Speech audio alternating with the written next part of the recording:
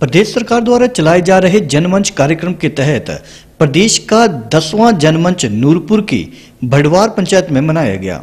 इस जनमंच में उद्योग मंत्री विक्रम ठाकुर बतौर मुख्य अतिथि शामिल हुए।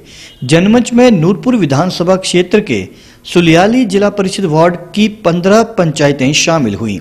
शिकायतकर्ताओं ने अपनी अपनी शिकायतें मंत्री के सामने रखी। अधिकतर समस्याओं का निपटारा मौके पर ही कर दिया गया। ज़्यादातर शिकायतें बिजली, पानी और सड़क सुविधा को लेकर सामने आई। बारिश के बावजूद काफ़ी संख्या में लोग इस जनमंच कार्यक्रम में पहुँचे। स्थानीय विधायक राकेश पठानिया ने मंत्री के समक्ष नूरपुर में औद्योगिक क्षेत्र खोलने की मांग भी की, जिस पर मंत्री ने तुरंत हामी भरते हुए आश्वासन दिया है कि जब भी प्रदेश में इंडस्ट्रियल मीट होगी तो नूरपुर क्षेत्र को सबसे पहले प्राथमिकता दी जाएगी। अपने संबोधन के दौरान विक्रम ठाकुर ने कहा कि जनमंच प्रदेश सरकार का चलाया गया ऐसा कार्यक्रम है जिसकी प्रशंसा प्रधानमंत्री ने भी अपने दौरे के दौरान की थी। उन्होंने कहा कि इस कार्यक्रम को देश के अन्य राज्य भी अपना रहे हैं। उन्होंने कहा कि ये एक ऐसा कार्यक्रम है जिसमें हर एक इंसान की आवाज़ जहाँ विभाग में नहीं सुनी जाती है, वो इस जनमंच में सुनी जाती है और उसे प्राथमिकता के तौर पर हल किया जाता है। उन्होंने सभी विभागों के अधिकारियों से जनमंच में उठाई गई समस्याओं को हल्के मन न लेने की बात कही और शीघ्र हल करने के निर्देश भी दिए। मित्रों,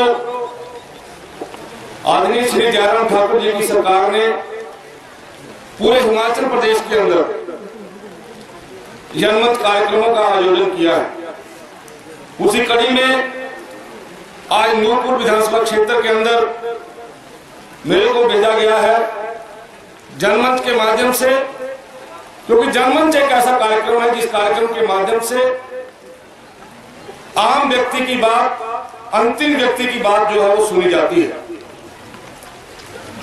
और मेरा जो हमारे यहाँ हेड ऑफ़ द डिपार्टमेंट बैठे हैं मेरा उनसे भी निवेदन है कि जनमंच में कही गई बातों को हल्का ना ले। जहाँ जो भी विषय आता है, उस विषय के ऊपर हम गहन चिंतन करें, गहन विचार करें। और यहाँ पर तो विधायक हमारी पार्टी के हैं। और जो दिशा निर्देश देते हैं, और जो यहाँ पे लोग आते हैं, जो उनके कामों का दिशा निर्देश आपको दिया जाता है, मैं पूर्ण आशा करता हूँ कि उन समस्याओं का निवारण होगा।